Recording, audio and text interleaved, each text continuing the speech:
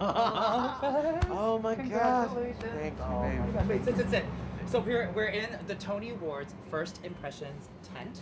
So we want to know Yes. first impressions. How does it feel? You just won a Tony I'll- Award. I'll, tell you what. When I was a kid, so my aunt Priscilla has a Tony. And she won this Tony when I was a child. Like she won it in 1981, I think. And when I would visit her uh, at her home, I would take it off the mantle and it into the bathroom and give an acceptance speech and spin the thing. and spin the thing. and and the thing, okay, so I heard like years later that if you touch someone else's Tony or Oscar or Emmy or Grammy or whatever, you'll never win one yourself.